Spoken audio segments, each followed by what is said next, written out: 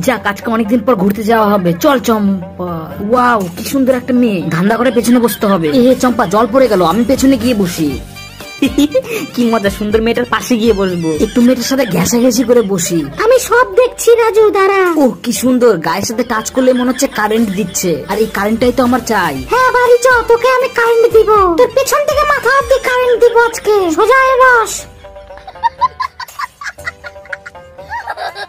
চম্পা চম্পা তাড়াতাড়ি এদিকে আয়। হদুল কুতকুতের বাচ্চা দেখবি তো তাড়াতাড়ি মই দিয়ে উপরে উঠে যা।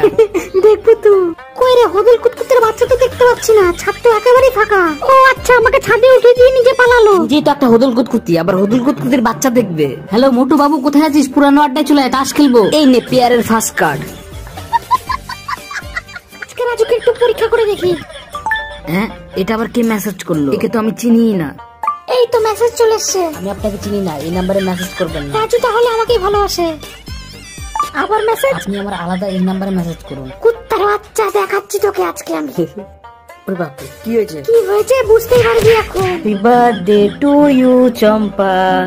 Champa এবার মোমবাতিটা নিভা। ফু আরে ফু এই ফু ফু শালা মোমবাতিটা নিচ্ছে না কেন?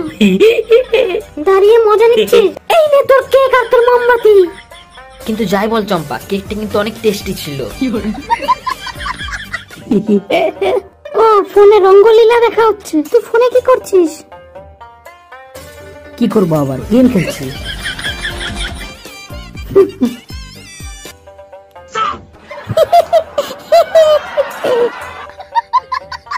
চম্পা এই দেখ আমার আর তোর আগের ছবি।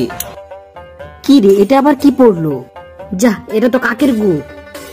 ছি কি গন্ধ হাতটা ধুয়ে আয়। কাকটার এই সময় পায়খানা করতে হবে। কুত্তার বাচ্চা রাজু